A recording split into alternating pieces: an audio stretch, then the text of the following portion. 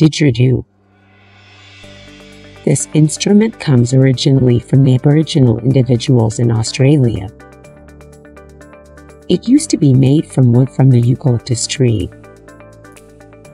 Its playing needs a special circular breathing technique. When played properly, that is when the musician has got an excellent grounding himself, the didgeridoo can be an excellent instrument for directing awareness to the earth component and for enhancing one's grounding.